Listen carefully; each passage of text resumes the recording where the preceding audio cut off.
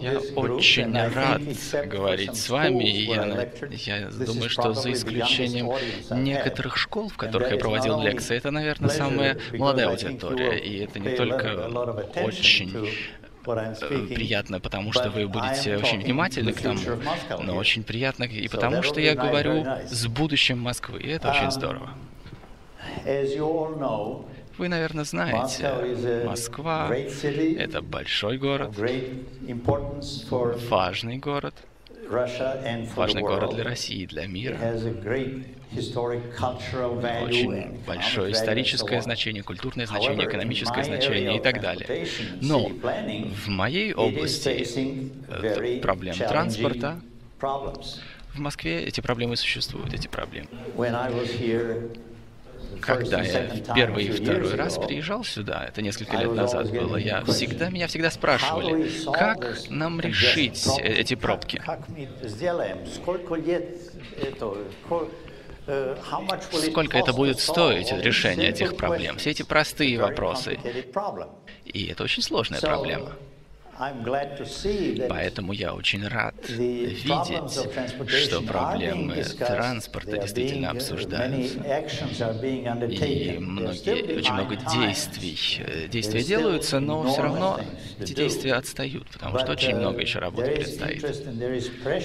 Но есть некое давление, потому что Москва действительно страдает нескольких серьезных проблем. Все говорят о пробках, но есть еще и другая проблема. Экономические потери из-за пробок, ненадежное время поездки, э, сложности при передвижении и так далее. Проблема состоит в следующем. Не только трафик и парковка не только общественный транспорт и не только пешеходы.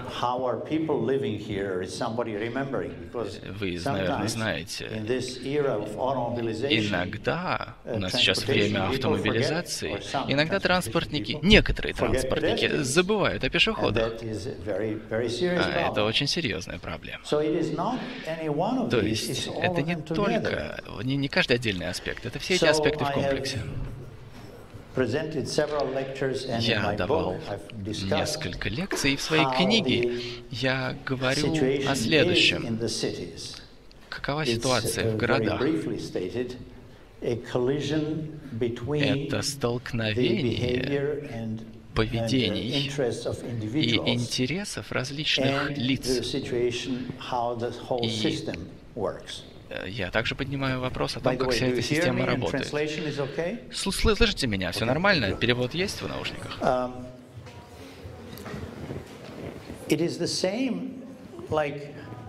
это примерно то же самое, как поведение людей в обществе.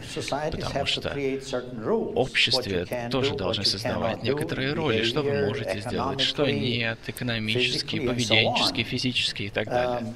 we learned then это много уже лет назад известно, что удобно бросать мусор там, где это удобно. Но если все будут это делать, то мы будем жить просто на помойке, а не в городе.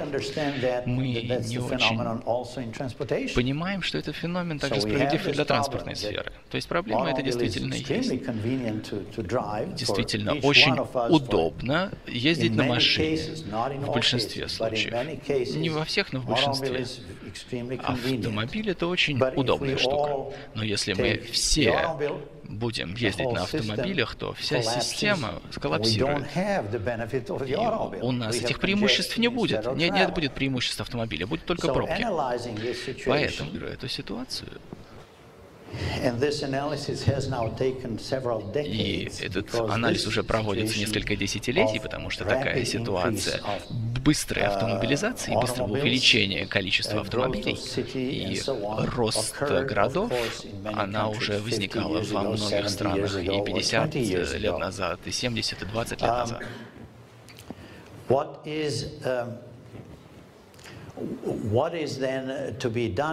Что же нужно сделать с этой ситуацией? Как мы можем воздействовать на людей? И говоря очень просто, если мы так много у нас людей ездит в Москве, миллионы поездок в Москве, у нас есть некоторое количество людей, которые будут ездить на автомобилях вне зависимости от того, сколько это будет стоить. Или у них, и, допустим, они спешат, или у них есть какой-то багаж.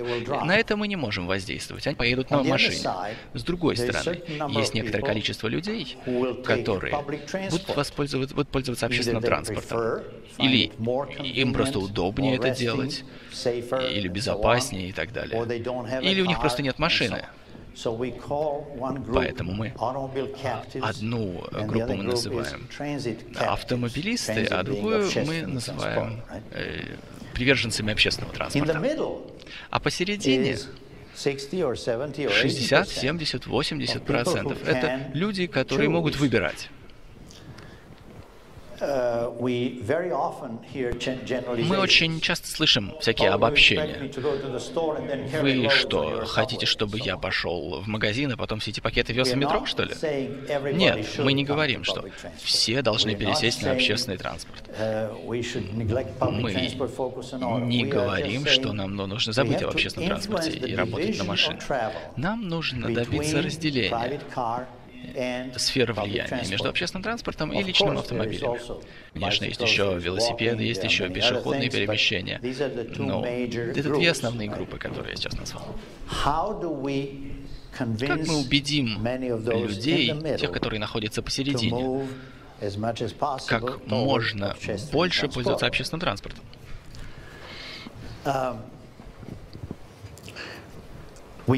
Мы знаем, и все профессионалы это знают и согласны с тем, что если мы некоторое количество переведем на общественный транспорт, у нас будет лучший общественный транспорт, мы сможем предоставить более экономически обоснованные обслуживания. А что касается машин, и на машинах будет легче ездить, потому что пробок будет меньше. Соответственно, это э, обоюдная выгода.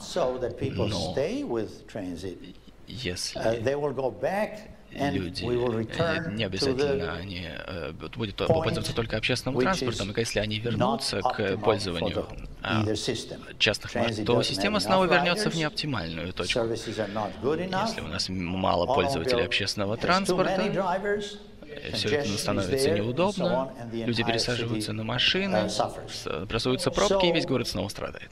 И это заставило нас сказать следующее. Нам необходимо проводить две транспортные политики в городских областях, городских округах. Первое — это стимулировать, стимулировать использование общественного транспорта. Вторая политика, второе направление — это дестимулировать людей использовать личные автомобили. Поэтому у нас есть два набора, два направления, в которых мы работаем. Мы сейчас, нас сейчас заставляет ситуация сделать что-то с пробками, с паркингом и так далее. Но мы скорее пренебрегаем первой частью почему-то. Мы не делаем общественный транспорт лучше. Если мы дестимулируем, делаем неудобным использование частных автомобилей, они будут жаловаться, и их мобильность снизится.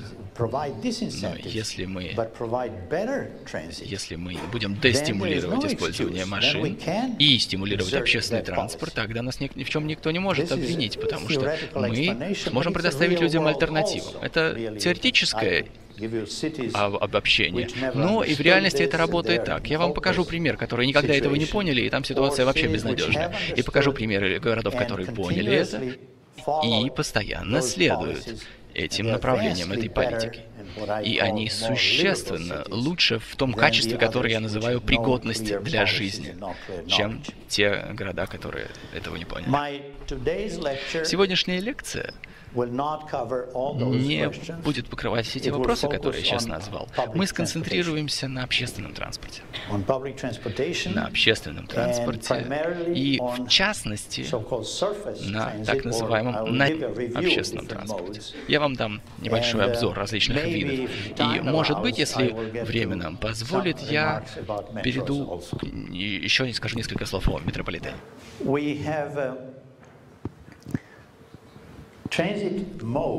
У нас есть такое понятие виды общественного транспорта или transit mode.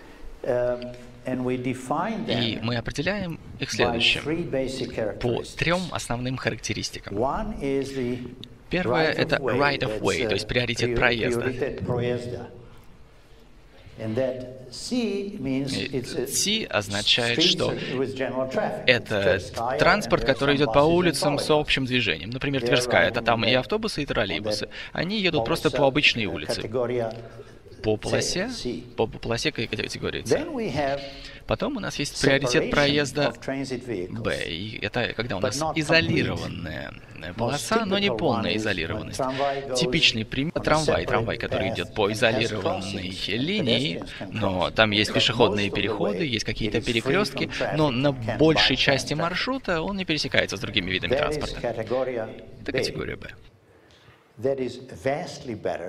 Это существенно лучше, чем категория С. потому что общественный транспорт не зависит от пробок в этом случае. И если у нас есть большой объем трафика, если у нас много людей используется общественным транспортом, то если наши троллейбусы прямо один за одним подходят к остановке, нам нужно увеличивать емкость вида общественного транспорта, их пропускную способность. И тогда мы делаем э, вид транспорта, который полностью становится независимым от других видов транспорта. Это метрополитен. И пригородные поезда. Это виды транспорта с наибольшим приоритетом. Чтобы определить вид общественного транспорта, у нас есть разные технологии. И, в принципе, у нас есть автодорожные виды транспорта и железнодорожные. В первом случае у нас есть водитель, который ведет транспортное средство по дороге, во втором случае у нас есть рельсы, то есть какие-то направляющие. И это большая разница. Кроме того, мы используем виды общественного транспорта разными способами. Некоторые локальные, то есть они останавливаются на каждой остановке, а некоторые являются экспресс-видами транспорта. Кроме того, у нас есть шаттлы, короткие маршруты, обычный трафик, который проходит в городе. И у нас есть региональные маршруты. Это, например, железные дороги, иногда автобусы и так далее. Вот представлены основные категории. Это автобус, это BRT, это автобус на выделенной полосе, то есть автобус с приоритетом проезда Б на частично изолированной полосе. У нас есть трамвай, который проходит на улице иногда на выделенках. Легкорельсовый транспорт, ЛРТ, который практически в категории Б, а иногда даже в категории А. То есть это большие составы, он изолирован и существенно превосходит по характеристикам трамвай. Кроме того, у нас есть AGT, это автоматически направляемый транспорт. Это такие, такие виды транспорта используются как э, локальные в аэропортах, но достаточно часто уже они появляются и в городах для внутригородского транспорта. У нас есть метро, который является основным видом транспорта в очень крупных городах. Если мы говорим о городах с населением миллион и больше, Метро обычно очень важно или является наиболее важным видом транспорта. С населением 5 миллионов или 8 миллионов. И если метро у них нет, то там невозможен правильный транспорт, невозможно нормально передвигаться по городу. Метро очень активно используется в городах. Если иногда, иногда люди говорят, что машин стало так много в городе, что людям просто не понадобится общественный транспорт. Это очень был распространенный тренд в 50-х годах. Что случилось? Случилось следующее. Эксперты и планировщики увидели, что наоборот нужно предоставить не только автобусы, а виды транспорта куда высшего Метро стало очень важно. И в 50-х годах в 20 городах мира было метро. Сейчас сколько у нас городов с метрополитенами? Больше 120. И это очень часто используемый вид. Пригородный поезд, у нас есть пригородные поезда, которые используются тоже очень в больших городах, все чаще. И в городах, например, в Париж, Нью-Йорк, Лондон, Чикаго. И в Москве тоже. есть достаточно развитая сеть пригородных поездов, но некоторые очень систематически подходят к планированию этих сетей. И пригородные поезда используют пригородные железные дороги как транзитные системы с частым, э, с достаточно регулярными интервалами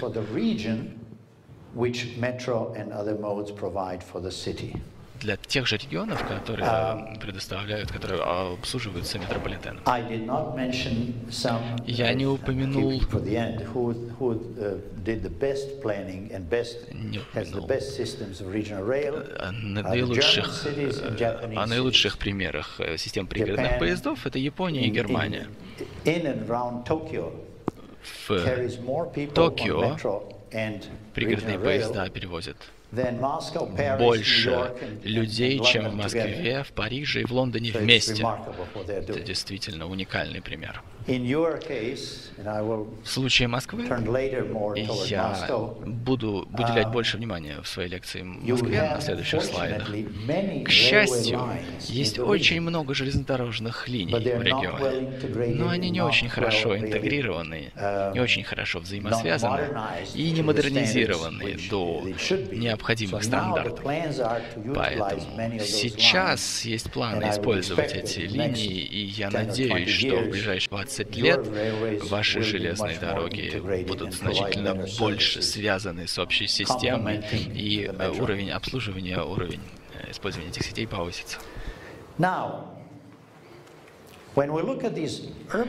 Теперь, если посмотреть на эти городские виды транспорта в городе,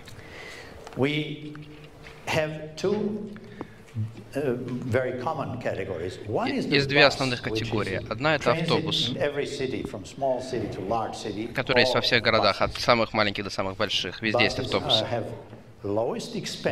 Автобусы самые дешевые. Вложения очень маленькие. Потому что не нужна инфраструктура, не нужно ничего строить. Но качество услуг — это скорость, пропускная способность, надежность тоже достаточно низкие. Другой край — это метро. Пропускная способность, большая надежность, большая скорость, безопасность. Это самое лучшее качество услуг. Но для этого нужны очень большие инвестиции.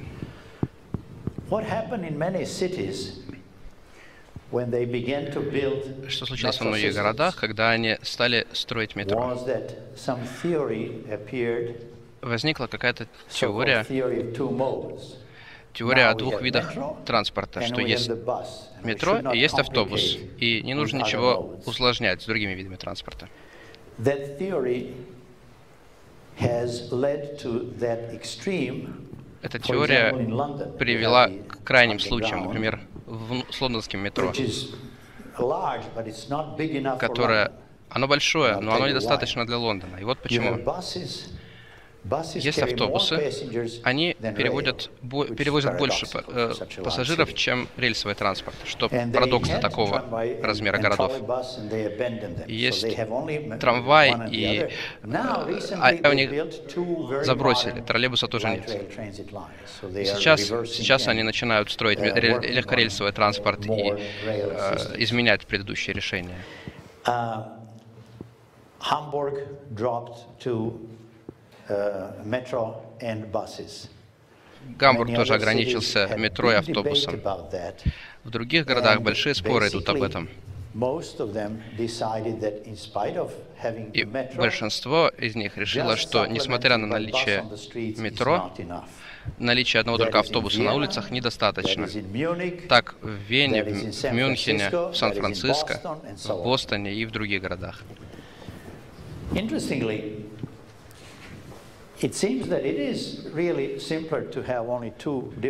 Любопытно, что действительно легко подумать, что достаточно этих двух видов. Это легко масштабируется, это эффективно. Можно перевозить много пассажиров. Но в, реальном мире некоторые города, в которых лучший в мире общественный транспорт, у них большое разнообразие видов транспорта. Например, в Сан-Франциско около семи различных э, видов транспорта. Автобусы, троллейбусы, пригородные поезда, очень, очень дорогие троллейбусы и даже кабельный трамвай. В Бостоне много видов транспорта, в Вене много видов транспорта. И теория, что нужно упроси, упростить систему до только метро и автобуса, она неверна.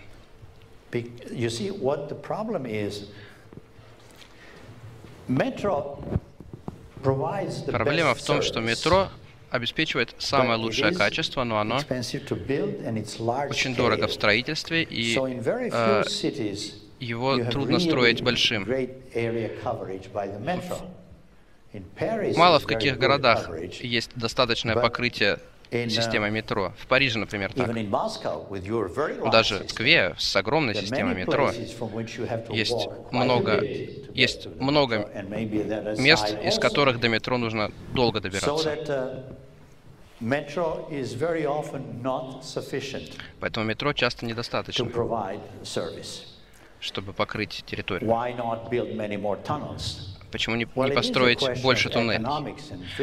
Вопрос э, экономических и физических ограничений, потому что трудно построить э, плотную систему метро. В некоторых маленьких городах э, такое возможно.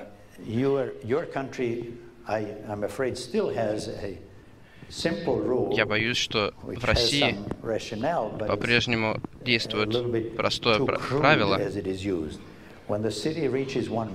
что когда город достигает миллионного населения, то центральное правительство выделяет деньги на метро. Город, которому нужна одна линия метро, ну, одна линия это хорошо, но она не, не решает никаких проблем. И они часто строят красивую линию метро, все в мраморе, эскалаторы, как в Москве, например. Но они пренебрегают троллейбусами, трамваями, автобусами. Это проблема, которая есть во многих городах. Чтобы подытожить, многие города, когда они растут, им нужно больше, чем могут предложить автобусы. Но им нужно что-то, что потребует меньших вложений, чем метро. У нас здесь большой промежуток. Так было во многих городах, которые... Вот эти города, в которых есть только метро и автобус, в них есть провал. И из-за этого не обеспечивается достаточное покрытие. В последние 30-40 лет мы вернулись uh,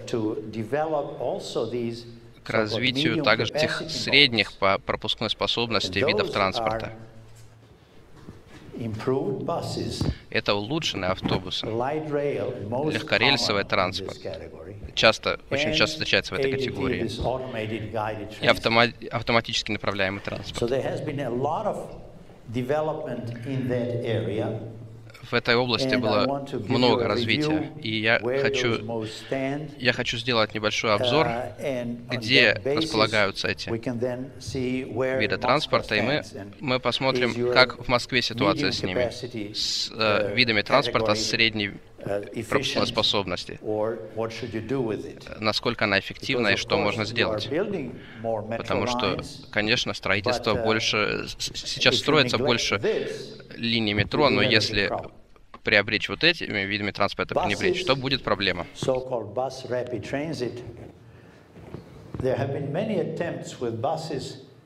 С автобусами было много проблем, много, много попыток сделать их более привлекательными, потому что автобус, автобус едет, меньше, едет медленнее, чем окружающий трафик, и э, он неповоротлив на улице.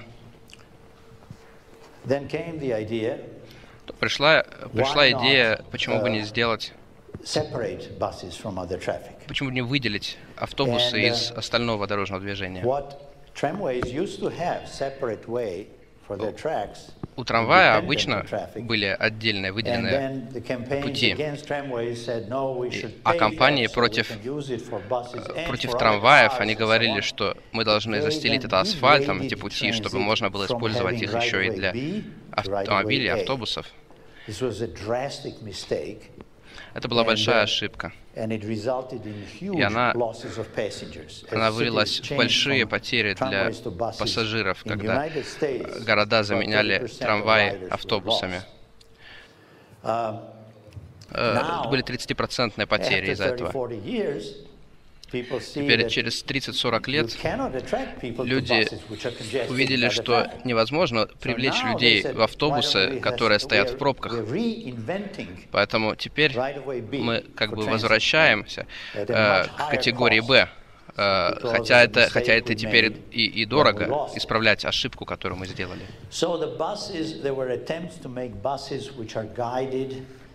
Были попытки сделать э, автобусы, движущиеся по направляющим. Но эта технология не имела большого успеха в большинстве городов, в которых, в которых она есть. Вводили еще экспресс-линии автобусов, вводили выделенные полосы. А скоростной, скоростной автобус — это в сторону э, физически обособленных дорожек. И зачастую высокие платформы, высокий, высокий пол, чтобы люди могли заходить без ступенек. И люди покупали билеты до входа в автобус.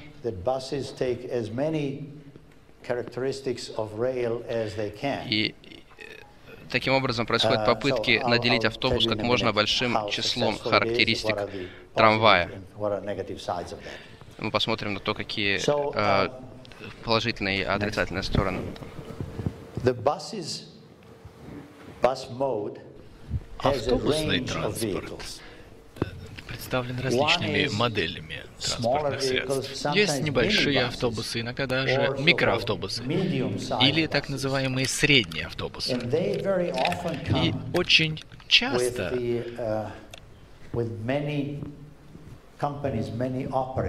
очень часто они используются различными операторами, различными uh, эксплуатантами. И в некоторых странах эти операторы получают разрешение на конкуренцию, на конкуренцию с государственными компаниями. Или в некоторых развивающихся странах вообще нет никакого общественного транспорта, он не организован. Они весь общественный транспорт — это автобусы среднего и небольшого класса, как в Лиме, допустим, в Перу. 5 миллионов поездок в день 10% из этого это государственные компании и обычные автобусы, которые ходят по маршрутам, по маршрут, по расписанию. Но 4,5 миллиона это маршрутки, то есть это небольшие микроавтобусы. И это очень ненадежный вид транспорта, небезопасный и так далее. То же самое в Богате. До недавнего времени в Богате вообще не было общественного транспорта. Сейчас есть скоростной автобус, очень хорошо работает, и они планируют построить метро.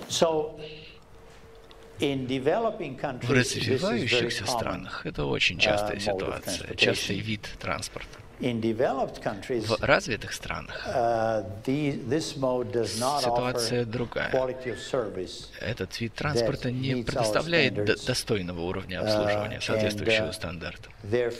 И в связи с этим существенно меньше так называемого паратранзита, то есть пересадочного движения. Я был шокирован, когда услышал, что в России, в России была очень хорошо организованная система общественного транспорта и троллейбусы, трамваи, автобусы во всех городах Советского Союза что в России не только было разрешено реорганизовать, государ... реорганизовывать государственные транспортные компании, чтобы повышать их э, эффективность, они вообще открыли рынок, сделали его свободным. И это большой шаг назад. Потому что вы действительно получили немедленно большое количество маршруток, но они ненадежные, они не, не согласованные. Это не та часть системы, которая нам нужна в городах. И они поэтому важны в развивающихся странах, но в вашем городе или в Иркутске, то есть в больших городах, нужно сохранять те виды транспорта, которые контролируются, которые являются регулярными и которые следуют по расписанию. Я могу вам дать очень много примеров. Например, в Мехико там огромная система. Там и трамваи, и uh, маршрут, и автобусы, и под давлением международных организаций, они открыли тоже свой транспортный рынок для микроавтобусов. И теперь там микроавтобусы ездят везде. И я спрашивал их, э, сколько у вас этих маршруток, и они сказали, что они, мы оцениваем на 26 или 34 тысячи. То есть эта система даже не контролируется. И сейчас, через несколько лет, э, они уже наелись этими маршрутками и возвращаются к стандартной, к систематизированной системе. Вот потому что качество то они очень часто ломаются и так далее. Усовершенствование автобусов э, очень э, началось очень давно, потому что я уже говорил, мы увидели, что на одной какой-то улице автобусы ездят каждые 2-3 минуты, и они 2-3 uh, тысячи в час пассажиров перевозят. А машины, которые по этой улице проезжают, они 800 людей или 500 людей в час перевозят. Поэтому uh, города в Европе и американские города Нью-Йорк, Балтимор, они ввели автобусные полосы. Автобусные полосы — это был шаг вперед, а это логичный шаг. Они могут быть успешны, но они очень сильно зависят от того, насколько постоянно обеспечивается соблюдение правил дорожного движения. И иногда это политический вопрос. Иногда парламент города говорит, давайте разрешим здесь правый по поворот, и чтобы люди заезжали на автобусную полосу. Ну, нужен же какой-то компромисс, да? Поэтому опасность автобусных полос состоит в том, что они не постоянные. Это постоянная угроза над ними uh, нависла.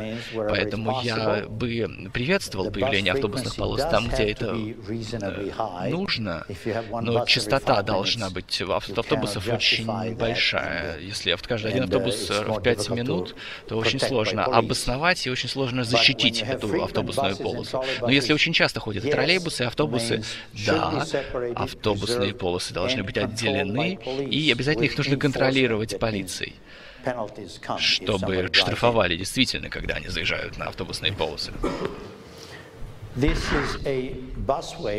Это автобусная полоса, построенная в Майами, и в Канаде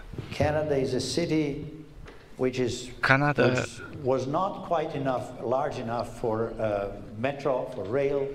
в Оттаве не было очень много места для рельсового транспорта, и они построили 20 лет назад достаточно э, хорошую, э, одну из ранних систем ускоренного автобуса. Очень хорошо она работает, часто используется, она даже скоординирована с другими видами. Но сейчас в центре города они достигают уже максимальной пропускной способности и Сейчас они хотят ее улучшить до легкорельсового транспорта, им нужно увеличить пропускную способность, и они хотят построить туннель в центре города. Это тоже Оттава. А потом в растущих городах, в развивающихся странах, это Сан-Паулу. Возникла следующая проблема. Первое — это финансирование. этой транспортной системы, но очень многие активно строят метро. в Мехико и Сан-Паулу, но не в, не в нужный момент. Например, в Сан-Паулу у них были, было несколько коридоров, которым нужна была огромная пропускная способность, и в Сан-Паулу это был первый пример, когда они полностью зарезервировали эти линии и для общественного транспорта. То есть это было первое первая система ускоренного автобуса, второе было Куритиба. Куритиба — это очень известный пример, там очень продуманная система ускоренного автобуса. А потом это уже возникло в Богате. Это Лима, одна из автобусных полос. А это тот самый направляемый автобус, который в трех-четырех городах построен, я уже говорил. Это Ускоренный автобус — это достаточно простая система, но эта полоса выделена. Поэтому эту систему ускоренного автобуса, она лучше соблюдается, правила лучше соблюдаются, чем просто в случае выделенных полос. Эта система называется Трансмилленио, это Богата. И ее очень активно развивали. И она перевозит большие объемы пассажиров.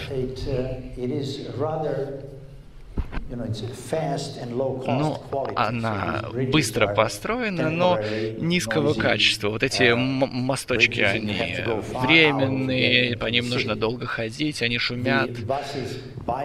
И автобусы на некоторых местах обгоняют друг друга. Это Стамбул. Это Бостон ускоренный автобус, э, который ужасно был спроектирован, и он очень неэффективный. Он проходит через туннель, тоже стоил больших денег, и автобусы ходили очень медленно, потому что там нету никаких э, светофоров, а, и это было очень непродуманно. Пример Бостона показывает, что ускоренный автобус не всегда дешевле, чем рельсовый транспорт. И если он плохо спланирован, то это не то, что нам нужно. Троллейбусы. В некоторых странах, например, в Швейцарии, они очень популярны и очень в хорошей форме находятся. Очень привлекательная система, они очень чистые и действительно очень экологичные. И это добавляет элементы пригодности для жизни. В Швейцарии они очень активно используют электричество, нефти у них там нет, и газа у них там нет. Все железные дороги полностью электрифицированы, и общественный транспорт тоже электрифицирован. Это одна из систем ускоренного автобуса в Лас-Вегасе, в Штатах. В Богате, это пример снова из Богаты, это система Трансмилленио. И она действительно очень хорошо обслуживает людей, но разделяет город, очень сильно разделяет город.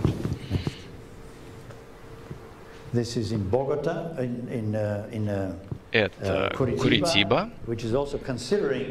Куритиба сейчас тоже думает об переходе на легкорельсовый транспорт. Здесь вы видите, насколько больше пассажиропоток на общественном транспорте, чем на частных автомобилях. В автобусе сидит больше людей, чем во всех этих машинах сразу же. А это то, как нужно идти до системы ускоренного автобуса, до остановки в Богате. Есть проблема. Некоторые люди, особенно люди из богаты, им очень нравится это системного транспорта. Это действительно существенное улучшение по сравнению с неорганизованной системой. Но сейчас они спорят. Э, спорят с тем, они доказывают всем, что это единственный вид транспорта, который должен существовать. Он дешевле, чем рельсовый транспорт, лучше, чем метро и так далее. Они очень эмоционально это говорят. Они представляют представляют. У них есть какой-то интерес, но любой экстремист, который говорит вам, что один вид транспорта лучше всех, он не профессионал, потому что нет идеальных видов транспорта. И это пример, который показывает, что пропускная способность огромная, но образовалась пробка из автобусов. То есть она работает плохо. Они ломаются, и из-за этого пассажиропоток падает. У них были проблемы обслуживания дорог и выхлопы. У нас действительно автобусы чище, чем раньше, но в, большин... но в многих случаях они не настолько, как, допустим, троллейбус. Троллейбусы остаются самыми наиболее тихими и наиболее экологичными транспортными средствами на дороге. Теперь давайте перейдем к железнодорожному uh, транспорту, к рельсовому транспорту. Что касается трамваев, на улицах начались пробки, и это стало проблемой на узких улицах. В 50-х, 60-х годах существовало движение, тенденция, которой мы будем строить другие вагоны, длинные вагоны, так называемые сочлененные вагоны, больше 40 метров. Эта тенденция все существует, такие трамваи ходят по приоритету С, но там, где это возможно, полоса выделяется, и они приходят в эту категорию B. И когда линия приходит в центр города, нет, есть, нет э, других способов, как построить туннель, но это достаточно короткий туннель под центром. И те же самые трамваи, те же самые трамваи, это тот же самый состав, который шел по улице с, категории Б, и теперь он перешел в категорию А. Это те возможности, которые дает нам легкорельс. Он может существовать в нескольких категориях сразу. В Соединенных Штатах в 50-х годах полностью прекратили строить трамвайные системы, но в 1974 году они заметили, что весь мир развивает легкорельс, а они отстают. Поэтому началась Началось там новое движение. Я был один из организаторов национальной конференции по легкорельсовому транспорту в Филадельфии. И мы действительно начали это движение в то время. И с того момента примерно 20 городов построили легкорельс. Это Сан-Диего и Сен-Луис. А это в Портленде, в Орегоне. Это самый хорошо спланированный город. Там действительно хорошие дороги, там трафик, э, пешеходный трафик, велосипедный трафик и так далее. Um, Технология легкорельса, она существенно улучшилась. Как вы видите, Теперь это визуально привлекательно и очень экологично выглядит, потому что рельсы прямо утоплены в траву. Сами составы, они уже низкопольные, очень тихие, эффективные. Uh, и в большинстве случаев посадка и высадка очень быстро происходит. Uh, Поэтому они действительно обеспечивают очень высокий уровень обслуживания на тех маршрутах, которые хорошо спланированы. Я должен сказать о городе Берген, это в Норвегии. Они два года назад открыли новую систему рельсового транспорта. Очень с скромными затратами. И там несколько туннелей и несколько перекрестков, но сигнализация э, на переезде. И это очень хорошо работает, очень хорошо функционирующая система. Это стандартный длинный сочлененный состав. Вы видите, насколько там внутри хорошо. Потом за последние, особенно 30 лет, оказалось, что городам нужны больше и больше пешеходных э, улиц и пешеходных зон. Больше площади, на которой нет вообще никакого дорожного движения. Но в эти зоны ввели общественный транспорт.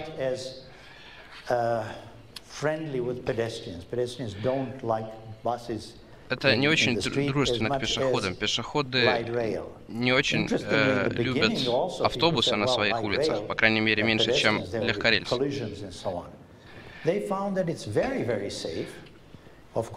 Оказалось, что, оказалось, что легкорельсовый транспорт очень безопасный. И в таких местах он, конечно, идет медленно, там 20 км в час. Ну, а есть участки, где скорость достигает 70-80 км в час. И легкорельсовый транспорт стал центральным элементом э, реконструкции целых городов. Так было в Германии, в э, Швейцарии, в Австрии. И многие, в этих, там во многих городах переделали трамвайные системы в легкорельсовые. Во Франции было такое до 70-х годов.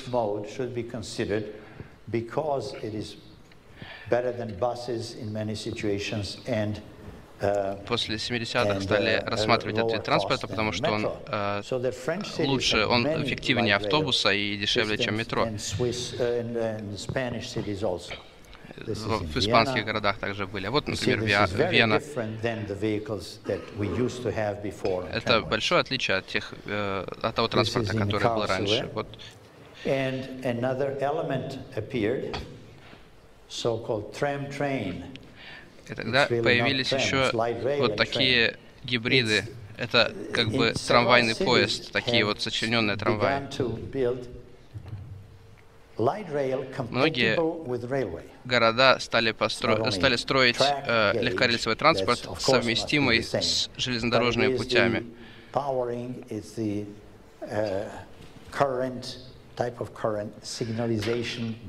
То есть совместимы по колее, совместимы по сигналам, по способу торможения. И по этим в центре, в центре города по пешеходным городам, э, по, по пешеходным зонам приходится ездить медленно, а затем, затем они гонятся в пригороде. But then it goes to railway and goes 40 kilometers и затем, как бы, то есть, выезжая из центра города, он может 30-40 километров ездить в пригород. Это один из э, наиболее, одна из э, наиболее успешных таких систем в Карлсруе, где э, вагоны заходят прямо в, э, прямо в зону с магазинами. Здесь большая пропускная способность. Затем сравнение эффекта это гораздо лучше вписывается в пешеходные зоны, чем скоростной автобус. И в Боготе, в Боготе он заходит, э, скоростной автобус, в центр города, но он далеко не так привлекателен там, как легкорельс. Э, в Ницце и в Монпелье я не видел, но я понимаю, что там э, перестроили весь центр города, э, сделав его более дружественным к пешеходам.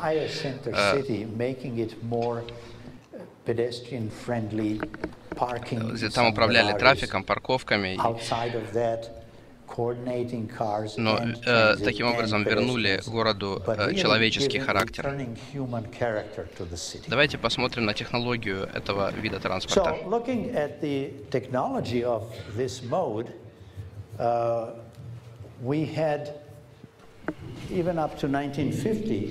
А вплоть до 50-х годов в Вене было три маленьких вагона. И там был водитель и три кондуктора. Потом они стали строить более длинные составы. Потом они стали делать их еще длиннее. А потом, потом э, ввели автоматическую систему взимания платы нужными кондукторов. По мере развития пропускная способность вот так увеличивалась. Э, при этом сокращалось, сокращалось э, количество людей, обслуживающих состав. И в некоторых городах в Америке, в Америке э, было даже, были даже вот такие вот многовагонные составы, э, с огромной пропускной способностью, обслуживая всего, еще, всего лишь одним человеком. Это очень эффективно. Э, так, пропускная способность такого состава в 10 раз выше, э, чем то, с чего начиналось. А но для этого очень важно, что э, очень важна автоматизация. Э, она позволяет э, людям заходить э, через до 16 дверей. В Москве турникеты на входе. Я никогда не видел такого э, в общественном транспорте нигде.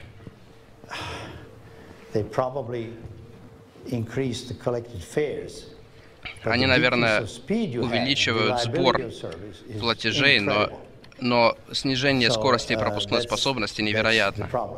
Это проблема.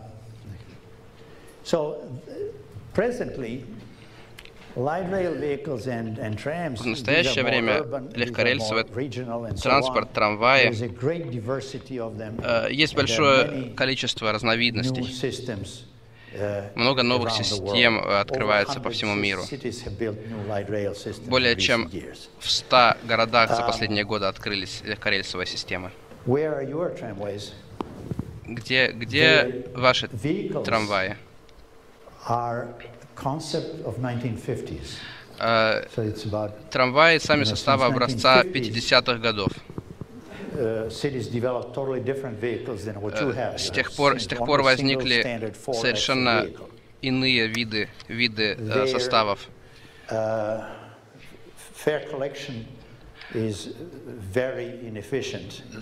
Сбор платежей осуществляется очень неэффективно. Это неудобно для пассажиров. Я вчера проехал, и я увидел, что вместо того, чтобы обособлять их по категории «Б», во, э, во многих местах автомобилям раз, разрешается заезжать на трамвайные рельсы. Поэтому это снижает, вместо того, чтобы повышать эффективность перевозок and decision to buy new light rail vehicles and so on, that the entire system will be reviewed, how it operates and made Я надеюсь, что произойдет пересмотр того, как функционирует вся система и насколько она эффективна. Это различные модели, вы видите очень много разных моделей в разных uh, городах. И в Портленде, Орегон, они построили прекрасную систему легкорельса и ясная трамвайная линия. Она стала настолько популярной, что это существенно привело к существенному увеличению развития жилой застройки в этом районе. И они называют этот район Ездите на трамвае. Это действительно реклама. Если есть трамвай, это действительно дружелюбная зона для людей, и в ней можно жить. Теперь давайте посмотрим на следующее. Что произошло в Штатах? В Штатах произошло следующее. Было очень много трамваев во всех э, городах, но потом была организована кампания. Она была организована лоббистами, дорожниками и дорожниками, нефтяниками, производителями шин и автомобилей. И они были частными Они покупали эти транспортные компании и убивали эту систему. Как они это сделали? Пропаганда говорит, будущего нет, будущее это автомобиль. У трамвая будущего точно нет. И э, дается следующее сравнение. Они берут они берут трамвай, ему 40-50 лет этой модели, и сравнивают с современным автобусом. Это смысл разве имеет? А давайте возьмем и сравним современный легкорельс с автобусом из 70-х годов. Просто хотя это уже, он уже может быть уже не существовать. Поэтому нужно быть очень осторожным. Вам говорят, некоторые говорят, трамваи очень старые, будущего у них нет и вообще. Но нужно действительно, нужно сравнивать профессионально. Нужно сравнивать только последние модели одного и того же вида транспорта. Чтобы сравнить Сравнение вот этих uh, видов транспорта достаточно длинное штука. Я всегда настаивал и писал об этом, что когда вы сравниваете допустим, метро и пригородные поезда, или троллейбусы и автобусы, или трамваи и автобус и так далее. Необходимо указывать преимущества одного вида и другого вида, а также недостатки. Необходимо и то, и другое сравнивать. Это то, как действительно нужно сравнивать. Я, к сожалению, не буду на этом останавливаться сегодня, у меня нет времени. Но сегодня мне хотелось бы показать интересное исследование, которое было сделано в Соединенных Штатах. Два города, они очень похожи. Сакраменто в Калифорнии, это столица Калифорнии, и Коламбус в Огайо, это тоже столица Огайо. Примерно одно количество людей живет в этих городах. Uh, есть э, правительство штатов, там есть университеты, очень похожих деталей в этих городах. Коламбус решил просто немножко модернизировать автобусы, ничего серьезного. В Сакраменто решили построить легкорельс. Uh, И за 20 лет, примерно за 20 лет, uh, количество поездок на человека в Коламбусе снизилось, а в Сакраменто с легкорельсов увеличилось с 19 до 30. То есть вы видите, что в Сакраменто теперь uh, общественный транспорт куда эффективнее, чем в Коламбусе. В общем случае, наши города, которые в тех городах, в которых построен легкорельс, их мэрами э, и, мэры и энтузиасты из этих городов ездят в другие города и говорят об опыте. И они говорят о том, что мы не только улучшили общественный транспорт, мы изменили город, город сам, городскую среду. Мы улучшили систему, и мы можем профессионально обосновать, что у нас есть города, в которых разные виды транспорта координированы, то есть они взаимовлияют и взаимосвязаны. Мы не говорим, что нужно отказываться полностью от автомобиля. Мы можем определять, какие виды транспорта работают вместе. И то же самое, если, допустим, вы метро планируете. Вы не можете спланировать эффективное метро, не учитывая подвозящий транспорт, автобусы, трамваи, троллейбусы и паркинги, системы паркинг-райд. Мы уже давно знаем о том, что нам нужно э, обеспечивать взаимосвязь различных видов транспорта. Uh, Еще выше, над э, классом легкорельса, это так называемые автоматизированные системы. Они полностью обособлены и полностью автоматизированы. Такие системы, это AGT, Automatic Guideway Transit, они могут э, работать как по, ездить как по рельсам, так, так, так и на шинах, на резиновых шинах. Составы на резиновых шинах, они в основном в аэропорту, примерно 40 аэропортов, где есть такие шаттлы подвозящие. И для этой цели, для коротких поездок в аэропортах, которые очень часто, это то самое, что нужно в аэропортах. Все идеально работает. Что касается рельсовых систем, Рельсовые системы в некоторых городах есть, в Копенгагене, например, в Ванкувере и так далее. И они тоже очень эффективны. Некоторые больше даже, чем на резиновых шинах, потому что они автоматизированы. Они там, э, в зависимости от количества поездов, длина состава меняется, но они могут ездить с интервалами каждые три минуты. Э, и весь день, потому что нет затрат на дополнительных машинистов. И это новое преимущество автоматизированных системах.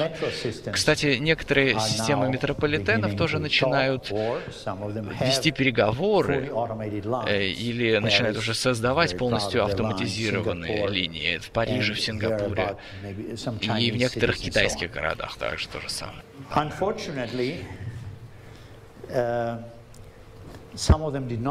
К сожалению, многие не использовали шанс разделить поезда на короткие составы и обеспечить очень частое обслуживание. Я думаю, что они тут теряют некоторые преимущества, и я ожидаю, что мы проведем дискуссии с коллегами в этих городах. Это пример системы на резиновых шинах в Лиле, во Франции. Очень часто ходят эти поездов, и очень много людей пользуются этими составами. Они, к сожалению, очень маленькие составы, они очень узкие, тесные, это действительно была ошибка просто при проектировании вагонов. Это не системная ошибка, система работает нормально. Это двери на платформе. Это пример систем в аэропортах. А эта система в Майами. У нас есть метро, и метро не удалось провести через центр города, просто физически. И физически, и из-за финансовых причин. Поэтому у них метро доходит до центра, и есть система распределительная с автоматическими вагонами, которые э, имеют примерно 20 остановок. Выглядит очень здорово. И очень хорошо взаимосвязано с другими видами транспорта. Вот вы видите, это метро, а это автоматизированная система. Метрополитен. Это одна из наиболее старых примеров систем в Гамбурге. В Монреале в 1967 была построена система метро. Они перестроили весь центр города и ориентировали это на метро. Это очень хорошая система, она очень изменила весь город, сделала его более пригодным для жизни. Uh, Где это? Это Сан-Франциско. Bay Area Rapid Transit называется система, система BART. Когда в Соединенных Штатах говорили только о строительстве хайвеев, в Сан-Франциско люди встали и сказали, да, для автомобилей нам нужна больше инфраструктуры, нам хочется ездить больше, но нам не нужно зависеть только от хайвеев. Нам нужно предоставить действительно высококачественный общественный транспорт, который сможет привлечь людей и обслуживать их, и заставить их пересесть с машин. Они построили систему BART, которая действительно изменила всю окружающую область, э, очень сильно связала ее. Эта система привлекла инноваций, очень высокая скорость, 140, 140 километров в час, а в, э, внутри города это тоже обеспечиваются короткие интервалы. trabalho. Это Мюнхен. Мюнхен известен э, вообще своим планированием транспорта. Все были системы взаимо взаимосвязаны в Мюнхене, и именно оттуда мы э, сделали э, термин интермодальное планирование, интермодальные перевозки. У них были очень много железнодорожных линий с одного и другого края города, и они построили туннель.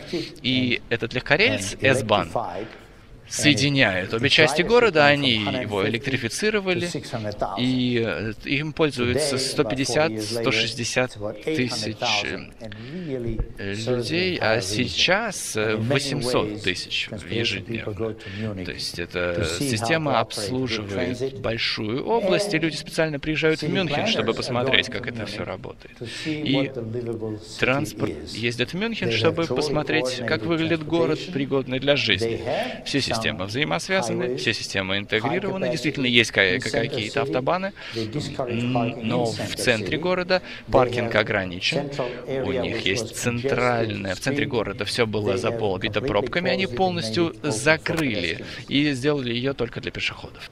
Uh, Это один из множества современных поездов в Японии, uh, они выглядят практически одинаково в различных городах, как для пригородного поезда, так и для метрополитена. И они действительно очень эффективны. Необходимо, однако, сказать, что московское метро действительно очень эффективно. Оно известно во всем мире за счет скорости поездки, за счет хорошей организации, за счет минимального времени пересадки между поездами, минимального интервала и так далее. И очень высокая пропускная способность. Без, без э, метрополитена Москва не могла бы существовать. И метрополитен действительно хорошо планируется и расширяется, и я надеюсь uh, обсудить э, эти планы с uh, руководителями метрополитена. Uh, я думаю, что вам необходимо перейти со станции глубокого залегания к станциям неглубокого залегания. То же самое справедливо и для Петербурга. Но действительно, метро является основным видом транспорта в Москве. Это S-Bahn в Мюнхене. Теперь несколько слов о необычных видах транспорта. Если некоторые из вас как-то э, взаимодействовали с системой транспорта. Вы, наверное, слышали аббревиатуру PRT. Личный э, скоростной транспорт. Очень многим мэрам и плановикам э, это все предлагали. Это будущее, все автоматизировано компьютерами. И это такая система выводит тебя, везет вас туда, куда вам нужно, не останавливаясь, через весь город. Выглядит как просто идеальная идея. В реальности же все не так. Э, это уже предлагалось более 40 лет назад, и иногда оно, эта идея снова появляется. Работает ли это? Она работает в лондонском аэропорте, соединяет три точки, три парковки в аэропорте, и она очень неэффективна. Почему? Потому что сама концепция нелогична. Она uh, даже не выглядит логичной. Если у вас очень загруженная, загруженная область, например, центр города, нет достаточной пропускной способности. Если у вас... И вы, вы, вы не, не сможете сделать такое движение. Если у вас окраины, то у вас не будет денег построить э, такую дорогую систему. Эта система обсуждается, потому что люди Э, которые производят эту систему, ездят из города в город, и они иногда находят интерес э, и заинтересовывают мэров, рацию городов в этом деле. Эта система PRT, я ее описываю как эксперимент, тест, как скрестить многоножку со свиньей чтобы получить э, от, от, от, от этого потомства в 100 куриц. Это не работает. Это то самое, что предлагалось для Лондона. Это тот самый слайд. Это для Лондона. Монорельс очень во многих городах э, обсуждается и построен. Механически он работает, но в большинстве э, случаев он менее эффективен, чем рельсовый транспорт. И э, считается, потому что это идет сверху, это допустимо, но не сильно отличается от того, если бы вы построили э, подвесную трассу рельсовую. Это был исторический пример из Вупорталя. В Японии сейчас очень много примеров. Сан-Паулу тоже строится. Один в корейском городе и везде, где я видел, везде скандал образуется, что вот эту глупую штуку строят. Иногда а, монорельсы. Да, и у вас же есть. У вас же есть очень смешной монорельс, да.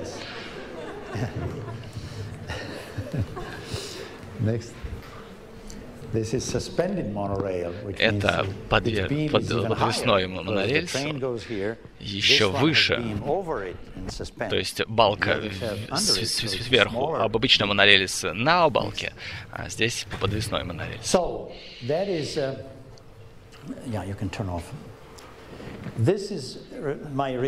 off. Это был небольшой анализ различных видов транспорта.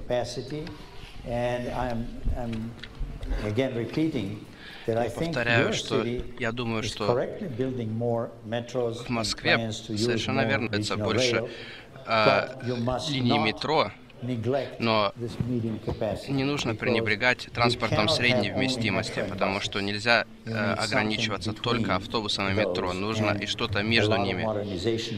Э, и этому транспорту требуется модернизация. Э, как видите, ваши трамваи э, сильно отстали.